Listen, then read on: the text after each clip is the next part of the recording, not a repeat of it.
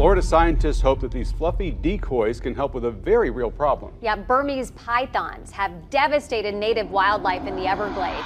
To fight the python plague, Florida approved a project that sounds like science fiction. Hunter-bot rabbits. Hundreds of them, each mimicking the heat and scent of live prey, were deployed to end the invasion. Florida's Everglades to hunt Burmese pythons. All right, take a look at this right here. Scientists have deployed 120 robot rabbits. The goal was simple, lure the snakes and end the problem. What many overlooked is that in the Everglades, everything is hungry. The experiment didn't just fail, it backfired spectacularly. The story of the robotic rabbits isn't one of high-tech triumph. It's a story of pure expensive chaos. A high-tech hunt goes haywire. At sunrise, a fleet of airboats cut through the mist of the Florida Everglades. On board were not hunters, but engineers and biologists. They were deploying a secret weapon, one they believed would finally turn the tide in a war they had been losing for decades. They called it Operation Mechanical Prey. The prey looked like simple marsh rabbits, but they were anything but. Each one was a sophisticated $4,000 decoy. This was the wow factor. These were not toys. They were hunter bots. Inside each furry, weatherproof shell was a high-tech marvel. A small, silent motor made the robot breathe with subtle twitches. An internal heating element kept its body at a perfect 98.6 degrees Fahrenheit, mimicking a live mammal. And a special cartridge slowly released the synthetic, musky scent of a rabbit. They were in every way the perfect bait. The plan was brilliant, to put it mildly. 100 of these robots were placed in known Python hotspots. They were anchored to the ground inside protective pens, and each was monitored by a motion-activated camera. The idea was that a python, sensing the heat and the smell, would approach. It would strike and wrap around the decoy. When the robot's sensors detected the pressure, it would send a silent GPS alert to a 24-hour response team. The hunters wouldn't have to find the snakes, the snakes would find them. Millions of dollars were poured into the project. The teams went live and everyone held their breath. Then the alerts started flooding in. At first, there was celebration. The system was working. The GPS pings were lighting up the map.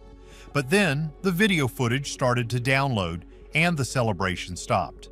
The thing nobody tells you is what else is hungry in the Everglades. The first videos were not of pythons, they were of alligators. A 10-foot gator drawn by the scent and the heat was seen nudging the decoy. Then, with terrifying speed, it clamped down. The gator ripped the $4,000 robot right out of its pen and dragged it underwater. The GPS signal went dark. This wasn't a one-time thing. It was a pattern. The alligators, the other apex predator in the swamp, were fascinated. They were smart. They quickly learned that these strange new rabbits were warm and easy to catch.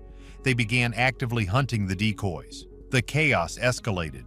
Footage showed massive gators performing death rolls, tearing the expensive machines into shredded plastic and fake fur.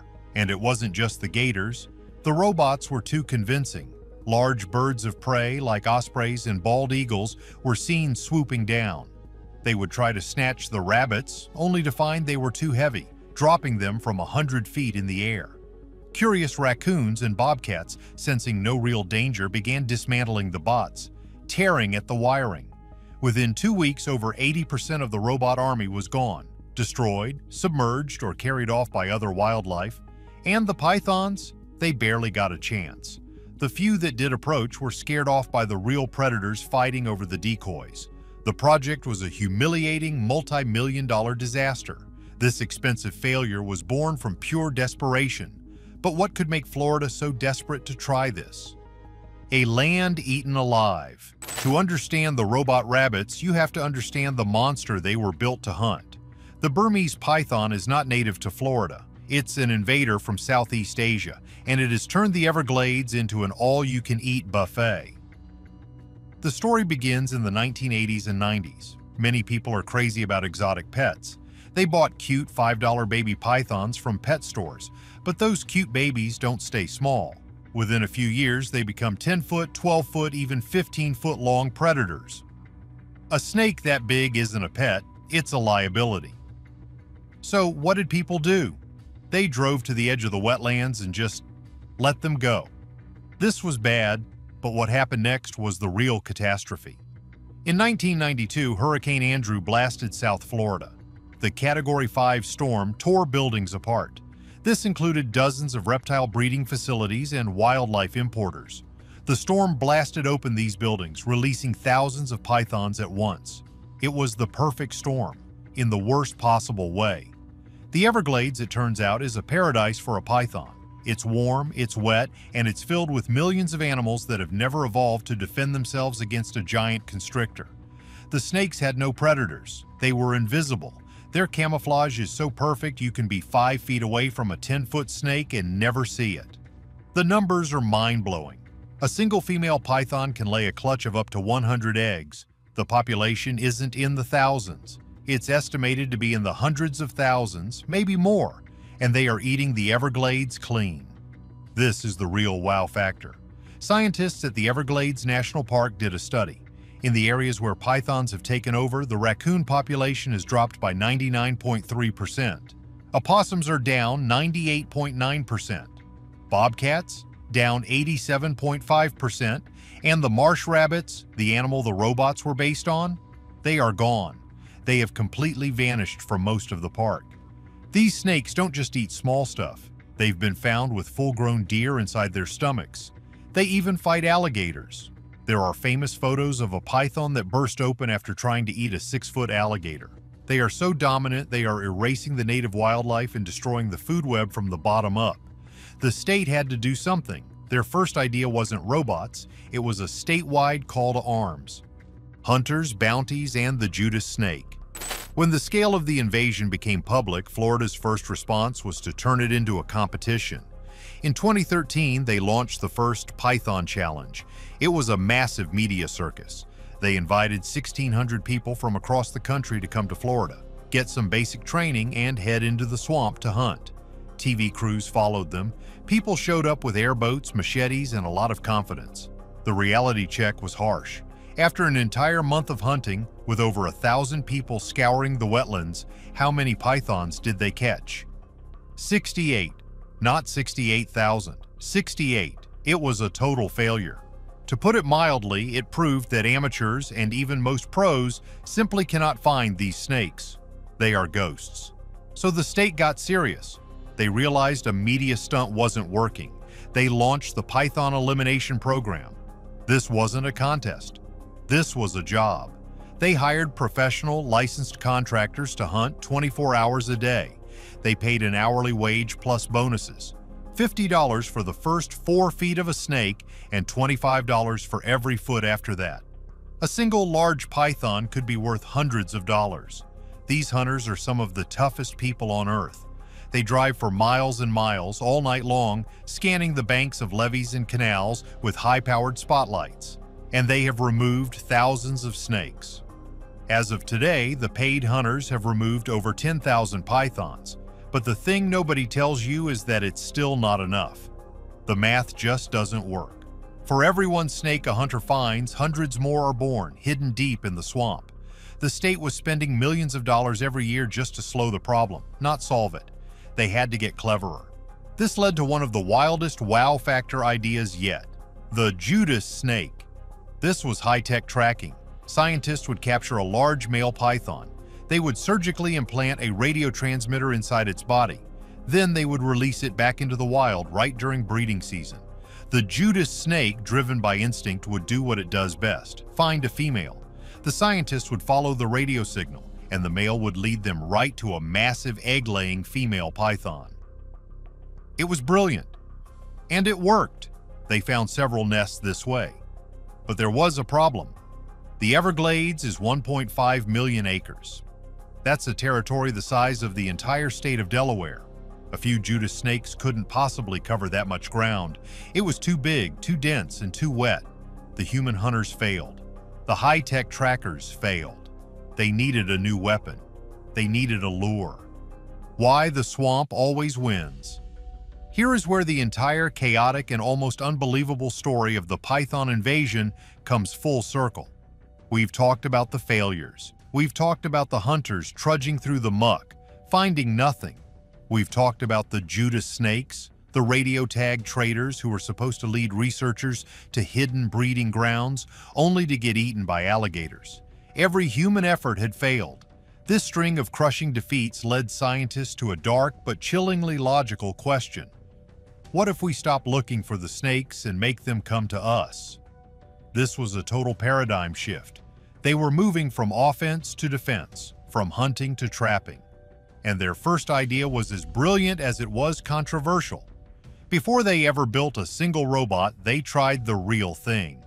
This is a little known and highly controversial chapter in the war on pythons. Researchers, backed into a corner and desperate for a win, set up special traps. The lure wasn't a scent, it wasn't a sound, it was live marsh rabbits. To be clear, this wasn't some blood sport. The rabbits were placed in heavily protected cages. The pythons couldn't actually harm them.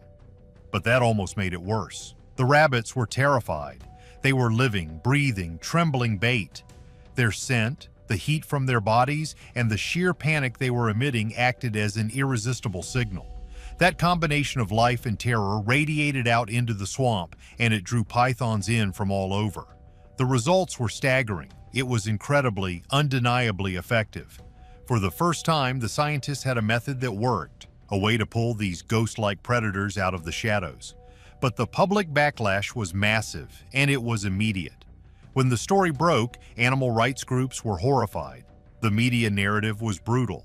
The idea of using terrified live animals as psychological bait, even if they were physically safe, was labeled as unacceptably cruel. It was seen as using one animal's suffering to solve a human-created problem. The optics were a nightmare.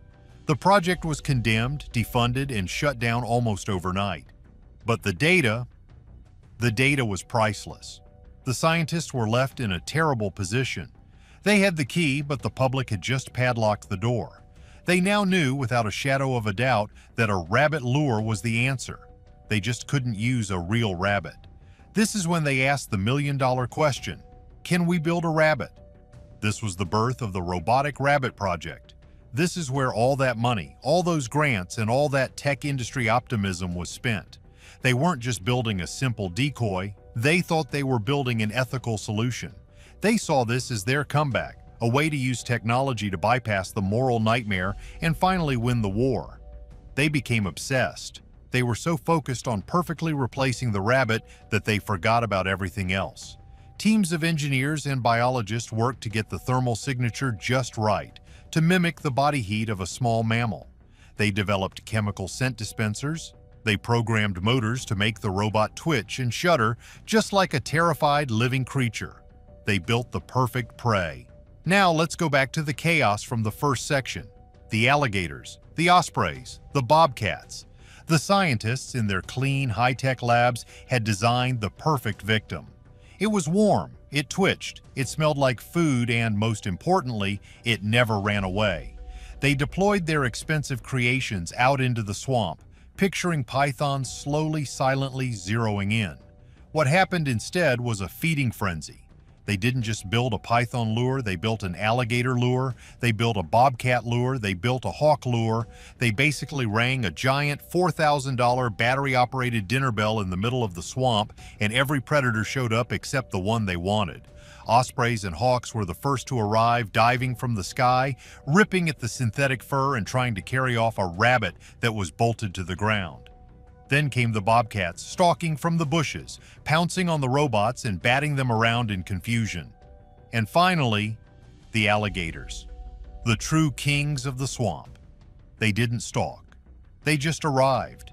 These ancient predators lunged from the water, crushing the expensive high-tech robots in their jaws and dragging them into the depths. And the pythons? They were nowhere to be seen. Why? Maybe the pythons as ambush predators are more cautious. Maybe they were waiting for all the chaos to die down. Or maybe by the time they even caught the scent, an alligator had already destroyed the lure. So, was this high-tech failure a waste of money or a lesson we had to learn? Let us know below. Make sure to like and subscribe for more stories you won't find anywhere else.